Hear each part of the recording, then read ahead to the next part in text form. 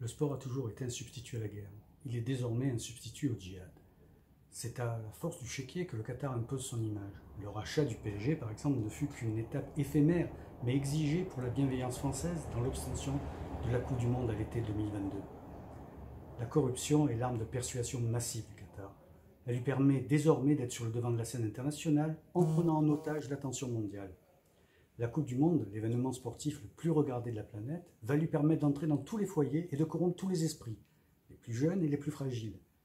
Des héros du football, des demi-dieux, l'idole des foules, ont servi à légitimer l'attribution de cette grande messe internationale du sport à un État moyenâgeux, belliqueux, obscurantiste.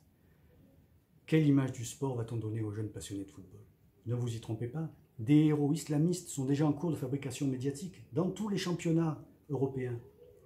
À Lusail, la sortie de Doha, une île artificielle sous le contrôle de la marine nationale qatarienne, accueillera des supporters étrangers. Les Irlandais, Guinness au clair, les Russes, vodka en bandoulière, et les Brésiliennes, les saint l'air. Une île où seront parquées les délégations des pays qualifiés. Un poste frontière interdira aux Qatariens et aux bons musulmans d'accéder à l'enfer de la Coupe du Monde. Les femmes seront bien évidemment interdites de stade. Le discours d'inauguration rendra-t-il hommage aux travailleurs esclaves népalais, indiens, sri-lankais, dont les salaires n'auront pas été versés et qui auront souffert dans des conditions de travail abominables pour ériger ces nouvelles pyramides de l'orgueil et dont le sang abreuve déjà les pelouses?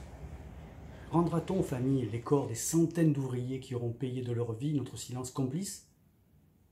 De quelle Coupe du Monde parlera-t-on en 2022 De la Coupe du Monde de football ou de la Coupe du Monde de la honte?